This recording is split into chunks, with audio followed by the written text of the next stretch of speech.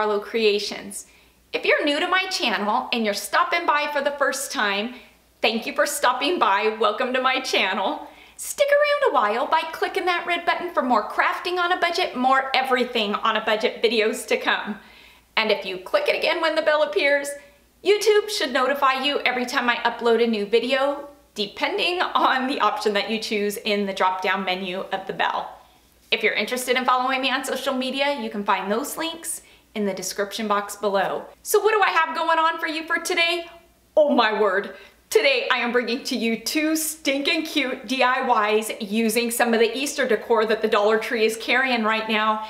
You all know that over the last few holidays, I am loving DIYing these wood plaques that Dollar Tree has been carrying. These are by Crafter's Square. But what I've been hearing a lot of when I do these DIYs is that not everybody is getting these wood plaques in stock at their Dollar Tree and there is some frustration, rightly so, about it. I mean, these are a dollar and when you DIY them, it's such a budget friendly decor piece that you're making. I can see why there is frustration. I mean, I really just don't understand why Dollar Tree doesn't have Crafter's Square at every store because it would sell out. So Dollar Tree, if you're listening to this, get with the program and stock Crafter Square at every Dollar Tree because it's gonna sell, people want it, and it's great stuff. Okay, that is my plea to the Dollar Tree. So because it's Easter and they've got this adorable bunny plaque out, I am gonna show you an adorable DIY using these.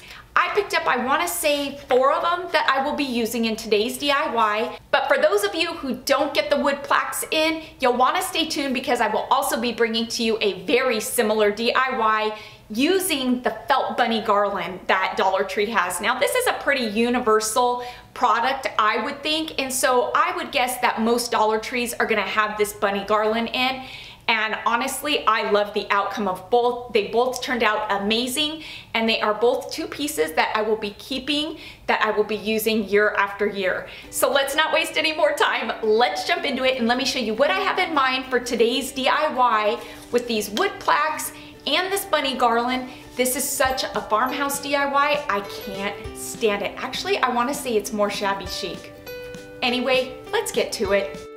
Alrighty, getting started with this DIY. Like I said, I picked up four of these wood bunny plaques. You can use more, you can use less. It really is up to you. I'll also be using this Spring Easter Fat Quarter Bundle by Emma and Mila. I am loving their Fat Quarter Bundles. Amazing. This spring and Easter one is so farmhouse chic. I am loving the browns, the whites, the pinks. Picked this up for $5 and I gotta tell you, with this fat quarter bundle, I did three total DIYs using it, so it was worth the $5. This here is what I have left after the first DIY. After this DIY, I will be using it for the second half of this video as well. So a total of three DIYs for the bargain price of $5 for this bundle. I'm excited. And you guessed it, I don't want to seem repetitive, but yes, I am covering these wood plaques with the fabric, starting off with a good layer of Mod Podge on them. Once I've got that Mod Podge on, I'm going to go ahead and lay down the fabric and then cover it with a second coat. The thing that I love so much about using fabric is that you can really do it to suit any decor style. You just go, you pick out a fabric that catches your eye, and you go with it. And this Mila and Emma Fat Quarter Stack is amazing. It is an Easter and spring theme. They seem to come out with a lot of really neat themed bundles, and for the bargain price of $5 at Walmart, you can't beat it. Once I've got all four of my bunnies covered in fabric, and I am gonna do each bunny in a different fabric. Now don't throw away your scraps because you're gonna need them for the second DIY in this video. I'm gonna pop my plaques in the oven at 135 degrees to speed up the drying process. If you're not comfortable with doing this, by all means, let it air dry. I've never had anything bad happen, and so it's something that I don't mind doing. Once they're good and dry, I'm gonna take an X-Acto knife and using the plaque itself as a guide, I'm gonna cut off the excess fabric. Oh my word, seriously, I am obsessed with this fabric. I am loving the color variation. It is just amazing. It screams all of the colors that I love. Once everything is good and dry, taking this acid-free brown ink pad and a makeup sponge, Usually I would just go in with the ink pad itself to outline the outside of the plaque because it makes it a lot easier, it's faster. But with this plaque, there's so many small areas that's gonna make it hard to use the ink pad itself. It's just a lot easier to use something like the makeup sponge. Now, if you don't wanna outline your plaque, you don't have to. If you wanna outline it in orange or pink or blue and be vibrant, I say go for it. It's your DIY, get creative. But because I like to do these DIYs to suit my decor so I can use them in my house, really I'm just giving you an idea and you take what you like, you leave what you don't, and you make it your own. So since I'm going with the farmhouse chic feel for this DIY, again, I'm gonna outline all four of my plaques with the ink pad. There are so many different ways to outline something like this. If you don't have an ink pad, but you have some of Waverly's wax paint, you can do that as well. I just love the look of it because it adds depth. I have this pack of pom-poms that I picked up from Michael's. It says $1.99. I did not pay $1.99 because who pays full price for anything at Michael's? You're gonna use your coupon, you're gonna pay a little bit over a dollar. I'm gonna use these for the tail of the bunny. Then using some Dollar Tree's twine, I'm gonna make a bow, and this bow is going to be four strands thick because I don't want it too thick, but I don't want it too thin, and so I feel like four strands is a good amount to give this bow that's gonna go right here on the bunny's ear. How easy was that? And look at how farmhouse chic this looks. I am loving all four of these fabrics. I'm sorry, for some reason the saturation on my camera went to blue and I didn't notice it, but I'm gonna fix it. Yikes, this is really blue. I'm not sure what's going on, still learning how to use this camera. Ugh. Okay, so I'm gonna use some Dollar Tree's burlap ribbon. This is a nine foot roll. I'm gonna hot glue the bunnies at the top of the ears to the ribbon and I'm gonna separate each of the bunnies about four inches. Now, when gluing these, you wanna make sure that you leave about a foot of ribbon on each end of your bunny. So when you start it, you wanna have about a foot because I'm gonna use this area here to add more twine. I took some twine and I made kind of a hoop out of it. You can do whatever size you want. I'm gonna fold it into the burlap just like so. I'm gonna flip it over and just hot glue the burlap closed and cut off any of that excess burlap. And I'm doing this so I have something to actually hang it from so I don't have to put a nail through the burlap. Here on the end, I did another, I guess, twine bow. I added some brown and white baker's twine and one of my wood buttons and I wanted to make this bow a bit thicker and so I think I went with about 12 strands of twine I think that this is the perfect thickness to add to each end of this garland. I also did some of my twine flowers. If you have not seen that video, I will link it in the description box below. These are so quick and easy to do, budget friendly. I did them the same way as I did the bow. I wanted to add just a little bit of color to it, so I used some of the baker's twine as well. These wood buttons you can find at Michael's. I bought a pretty big bag for just a couple of dollars and what I love about them is that you don't have to paint them or you can paint them. You don't have to buy a bunch of buttons to suit your needs, you can just make these to suit your needs. Now I'm at the other end of this garland and I'm gonna do the same thing with the twine, kind of adding this hoop so I can hang it from each end. And that really is all there is to it. Now just finish this end off with another twine bow and we are done. And would you look there, this was such a budget-friendly DIY using these amazing wood plaques that the Dollar Tree is carrying, the burlap ribbon, and this adorable fat quarter stack by Emma and Mila that you can get at Walmart. I love the outcome of this. I feel like this is such a farmhouse chic piece and it doesn't scream spring and Easter in the traditional sense. Now, for those of you who can't get your hands on these wood plaques, you're gonna pick up one of these felt bunny garlands. And so what's great about this set is that you're getting eight bunnies for the price of one. You've got these pom-poms that you don't have to go out and buy.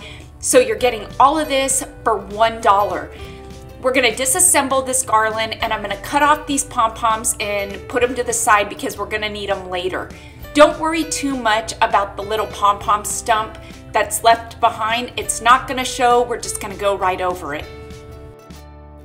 For this bunny DIY, we will be using those scrap fabric pieces left over from the beginning of this video that you did not throw away. And because these bunnies are bright and vibrant, we're gonna put just a coat of white acrylic paint on top of this felt. What's great about painting felt is that once you paint this felt, it's gonna make it very hard and stiff. And these bunnies are gonna be just as stiff as those wood plaques.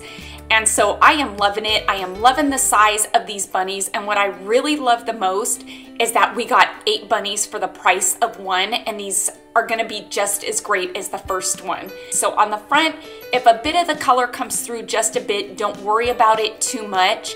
You can still slightly see the color, but on the back side, I just really wanted that finished look, so I finished it off with the cashew. I also decided to add the black gingham fabric that I had left over from Christmas time. I did a lot of Christmas DIYs using this and I thought it would go perfectly with this fabric as well. I'm gonna cover them the same way as I did the wood plaques. Once they're completely covered, you're gonna cut off the excess fabric. For this garland, I'm switching up the way I'm outlining the bunnies to distress them because my brown ink pad is fresh out of ink and I don't feel like running out to get some. And since I've got plenty of the Waverly Antique Wax, I'm gonna use that and apply it using this sponge dauber. And I'm gonna do that to all eight of the bunnies. You can see just by looking at this how sturdy these felt bunnies became just by painting them and applying the fabric to them. So there really is no difference between these smaller bunnies and the wood plaque bunnies, only you're getting more bang for your buck. I'm gonna go ahead and replace the pom-pom back to this bunny's bum and like I said in the beginning, if there was a stump of cotton left on the felt bunny before you put the fabric, no need to worry because when you hot glue this pom-pom back on, it's not gonna show. Like the first DIY, I'm gonna give this bunny a cute little twine bow that is two strands thick. Then again, going with the wired burlap ribbon from the Dollar Tree, I'm gonna use all nine feet and I'm gonna evenly space out each of the bunnies, leaving a space in between them that's gonna be big enough for a flower. When covering these eight bunnies, I decided to do four of them with the black gingham fabric because I had so much of this fabric left over from Christmas and I really did buy it with the intent of kind of incorporating it into each of the holidays through the new decor that I make through my videos. And so I thought that this was the perfect piece to incorporate this into. And so I did every other bunny with the black gingham and every other bunny with the adorable spring fabric bundle that Emma and Mila and I had the perfect amount of fabric left over to do this. And like I said I did a total of three DIYs using that $5 bundle. You will have to stay tuned for the next DIY that I do because it is amazing what I did with this fabric bundle. So you'll wanna stay tuned for that. That video will be coming up here in the next week or so. For this garland, I wanted to show you an alternative to the twine flowers using these flowers that came in the gift wrapping section of Dollar Tree. Of all places, you could get four of these in a pack for a dollar. I'm not a glam girl, so the center of these, this rhinestone, I'm gonna remove it and I'm gonna replace it with a wood button. Again, these are the wood buttons I was talking about that you can get from Michaels. But before we do that, this flower is just a stark white and I don't want it to stand out. I want it to blend in. I don't want the focus of this garland to be these stark white flowers. So using my antique wax by Waverly, I'm gonna go ahead and distress the edges of this, kind of dirty up this flower, give it a little age, and that way it just kind of blends in and it really is a great alternative to the twine flowers. I mean, you're getting four for a dollar and this is gonna look just as cute. I'm gonna add one of my handy little wood buttons and I'm gonna go with the bigger wood button for this.